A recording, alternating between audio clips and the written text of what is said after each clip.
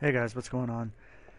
And uh, what, what we're talking about in this video is with our node project, um, what is the best way to be able to open up a large file and read it line by line.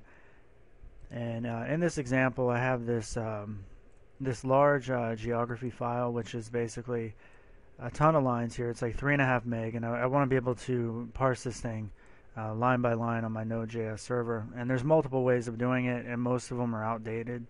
Um, so the reason why I decided to make this video is just so that we have one uh, updated version of, of, how we should be going about this, at least you know probably for the next year or so until a better module is made. Um, so let's go ahead and get started here. Now you're going to need the um, FS module, which is which is part of uh, Node.js, and that allows you to actually read files and open files. It stands for file system, so um, you just want to make sure you have a require in there somewhere. And um, what I what I have going on here is I have a method that's going this this entire section of code is going to be executed uh, when I search, but um, I'll show you guys in just a moment. But what we need to do is um, go ahead and, and use our FS to create a read stream. And the read stream is actually going to be the file that it is that, that we want to open. So let's go ahead and um, create a variable. And I'm just going to call it input and we'll say it equals uh, fs and fs is that file system module that I was talking about that we just uh, required. And then we're going to call create read stream. And then here is just where you're going to give a um, path to the actual file that you're trying to open. So mine is uh, located in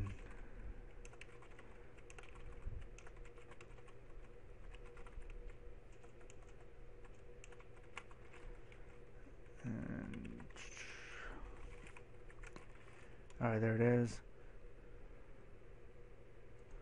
Duplicate. Oh, yeah, I already have that defined anyway. I'll get rid of that. Alright, so now we have our, um, our read stream defined. We're going to go ahead and create a variable called RL, which stands for read line. And here we're going to go ahead and require another module, which is the best way to actually read line by line from a uh, memory stream in Node.js, um, and that's the readline module. So we'll require readline, and then we're going to say uh, create interface. Okay.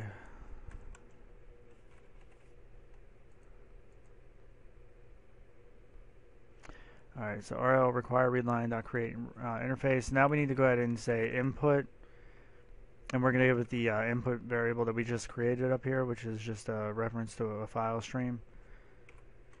And we also need to do an, an additional argument, which is um, terminal false if you're using the latest version of Node as of the time of this writing or this uh, video.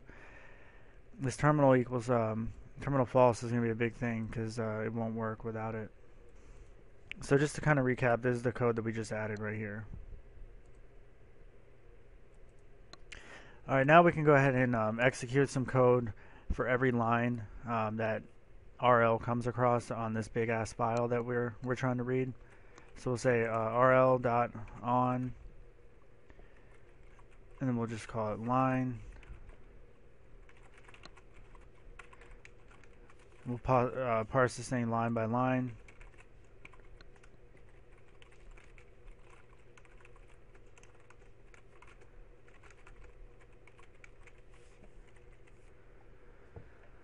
Alright, um, so let me go ahead and I'm going to fire up my server. So the app is started here, and it's, um, it's this personal project here. And the code should be fired when I click uh, Find Work. So you can see that it's actually reading through that big ass file line by line and printing it out to the console. And I don't need that to finish, but anyway guys, um, that's going to sum up how you actually read a file line by line. And um, assuming you wanted to do something with you know each line, or if you're looking for a certain thing or something like that, you would do it obviously inside of this this area here instead of just uh, printing it to the command console. But for the entire video, it's just this highlighted section is what we what we had to write. All right, guys, thanks for watching. Please subscribe. Bye.